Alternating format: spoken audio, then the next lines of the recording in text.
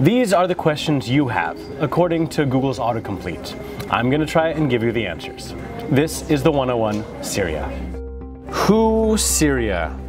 Fighting. Who's fighting who in Syria? Well, that's an ever-changing answer. For the moment, we have five players.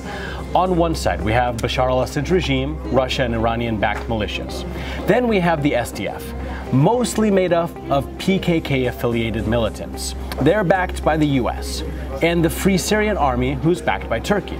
We also have some Al-Qaeda affiliated groups running around, and Daesh, also known as ISIS, has been completely wiped out from urban areas, although they're still lingering in some rural territories. What Syria looks like now? From 2011 till now, the power balance has changed quite a bit. This is our most recent map, showing who's in control of which areas. Although the regime controls much of Syria, the cities Damascus and Latakia are some of the only areas where war hasn't totally changed the landscape. Where Syria, where Syrian refugees go? Well, about half of Syria's 22 million people have been displaced. 11 million people. That's like saying everyone in Los Angeles, Chicago, San Francisco, Paris, Milan, and Zurich just disappeared. So where are they? Six million are internally displaced, fleeing war zones, their homes and cities unsafe or destroyed. About 5 million are in neighboring countries. Turkey hosts over 3 million, which instead of referring to them as refugees, prefers to call them guests. About a million have applied for asylum in Europe, but the process is long and slow. And the US has resettled 18,007 Syrians since 2011.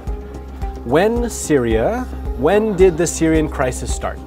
The official date is around early March 2011. You see, the Arab Spring was erupting in and around the Middle East and Africa. In Syria, some kids were arrested and tortured by Syrian forces in Daraa for spray painting an anti-Bashar al-Assad slogan on a wall. Unarmed protesters marched for the boys' release, and Assad's forces responded with violence.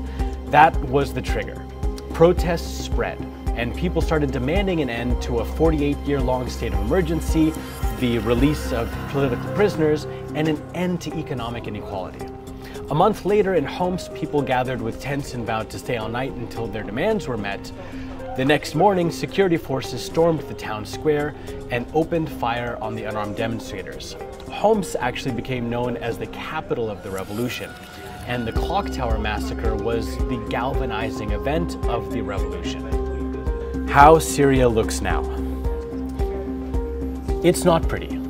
This drone footage and side-by-side -side comparison of Syrian cities tells the story far better than I could.